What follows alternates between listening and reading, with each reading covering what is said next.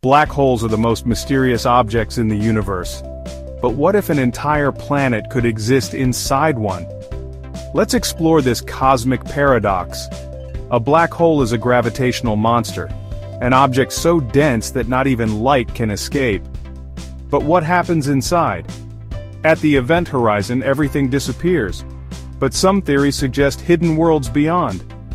Some quantum gravity theories suggest black holes might contain entire universes.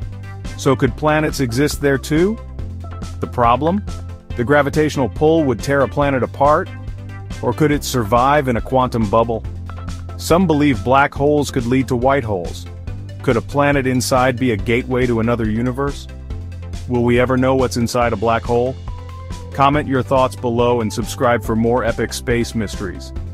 Like, subscribe and turn on notifications for more mind-blowing space facts.